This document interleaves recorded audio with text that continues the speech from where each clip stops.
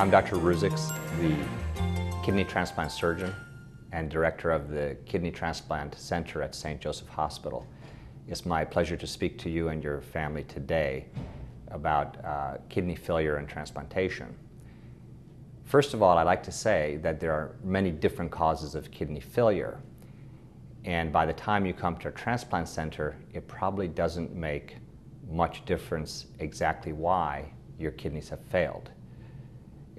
It, could have been diabetes, which is our most common diagnosis, hypertension, uh, inflammation of the kidneys caused by the immune system that we call glomerulonephritis, or many other causes.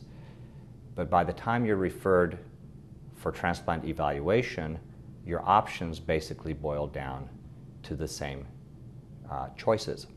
Namely, something will have to be done to replace your kidney function to keep you alive.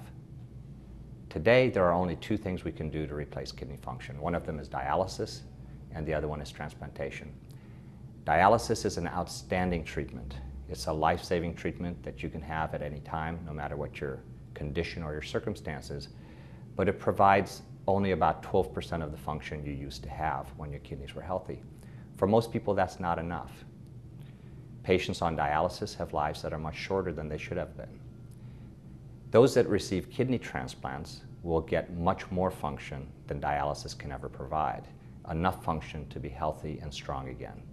In addition, patients that receive kidney transplants will live twice as long as they would have lived if they stayed on dialysis.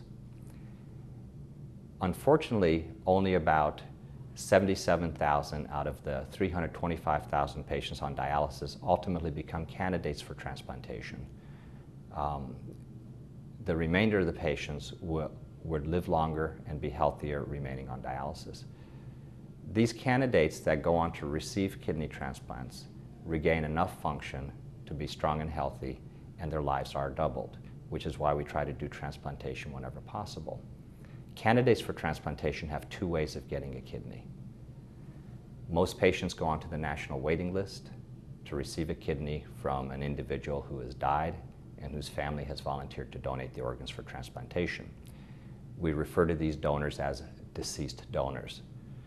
Unfortunately, the 77,000 people on the waiting list for deceased donors received only 10,000 kidneys last year. This has led to a very, very severe shortage of kidneys for transplantation and a very long waiting time. This long waiting time is currently our greatest problem and greatest challenge to our patients today.